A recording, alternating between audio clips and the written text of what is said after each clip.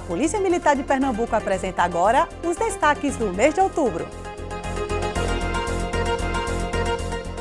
Esse mês teve início com a Operação Eleição, lançando mais de 14 mil policiais militares em todos os municípios de votação em Pernambuco, tanto no primeiro quanto no segundo turno, garantindo a segurança e tranquilidade em todo o estado.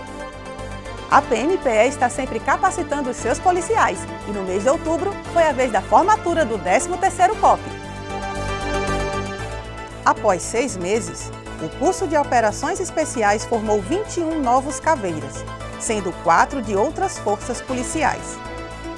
A solenidade aconteceu no campo do quartel do Comando Geral e contou com a presença de autoridades civis e militares, além de familiares e amigos dos formandos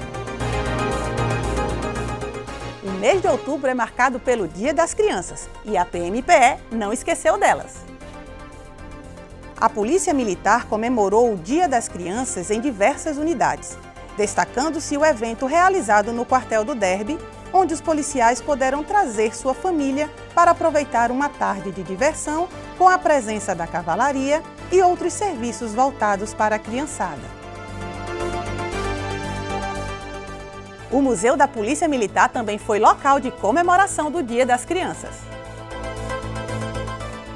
Uma ação social da Polícia Civil de Pernambuco trouxe 26 crianças de uma escola municipal para visitar o Museu da PMPE em comemoração ao Dia das Crianças. Conhecer a história da PMPE com brincadeiras e guloseimas promovem o conhecimento de maneira lúdica e divertida. E esses foram os destaques do mês de outubro. Polícia Militar de Pernambuco.